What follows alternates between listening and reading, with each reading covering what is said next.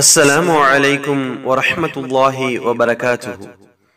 அன்பார்ந்த சகோதர சகோதரிகளே தினமும் ஓர் ஹதீஸில் இன்று நாம் பார்க்கவிருக்கும் செய்தி நாகரிகங்கள் மேம்பட்டிருக்கக்கூடிய நம்முடைய சமுதாயத்திலே.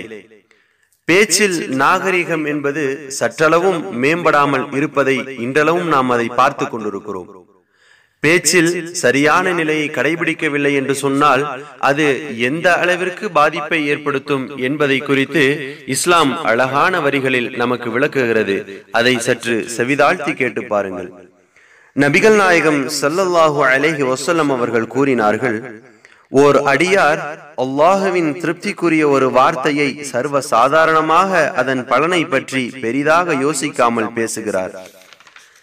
அதன் காரணமாக அல்லாஹ் அவருடைய அந்தஸ்துகளை உயர்த்தி விடுகிறான். ஓர் அடியார் அல்லாஹுவின் கோபத்திற்குரிய ஒரு வார்த்தையை சர்வ சாதாரணமாக அதன் பின்விளைவுகளை பற்றி யோசிக்காமல் பேசுகிறார். அதன் காரணமாக அவர் நரகத்தில் போய் விழுகிறார். அறிவிப்பவர் அபுஹுரேரா அலி அல்லாஹு அன்ஹு நூல் புகாரி.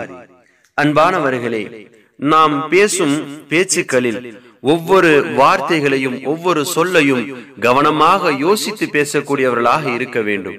ஏனென்று சொன்னால் நாம் பேசும் ஏதேனும் ஒரு பேச்சு அது நமக்கு சர்வசாதாரணமாக இருக்கலாம்.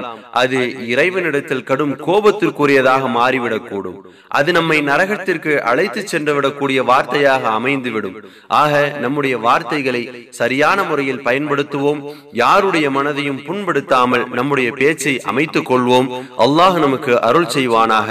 அஸ்ஸலாமு அலைக்கும் வரஹமத்துல்லாஹி வபரகாத்து